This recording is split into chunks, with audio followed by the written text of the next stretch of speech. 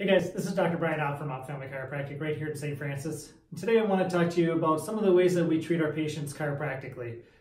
So one of the big things that we'll see is, is a head forward posture. So when they come in, their head's in front of their shoulders.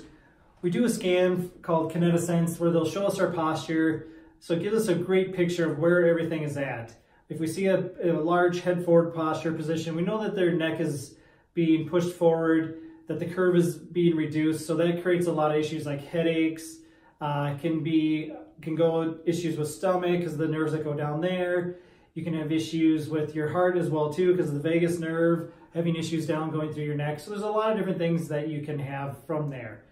So what do we do? So if you think about it, if I perform a normal chiropractic adjustment that most people are used to, we usually do what's called a rotary adjustment where they turn their head, move it to the side a little bit, and, and thrust from the back side to the front side.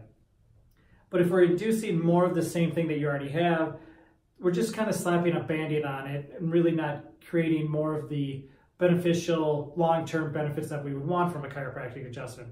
So what we've learned over the last few years is that if we actually adjust from the front side, those people do a lot better and hold their adjustments a lot longer. They get much greater relief from their day-to-day -day activities that they normally have from texting, sitting at a computer like most of us do for jobs nowadays. So if you're looking for something different, looking for a different way to look at how we can you can be adjusted and the benefits from that, definitely give our office a call. Once again, this is Dr. Brian Opp from Opp Family Chiropractic. Hope you enjoyed this video.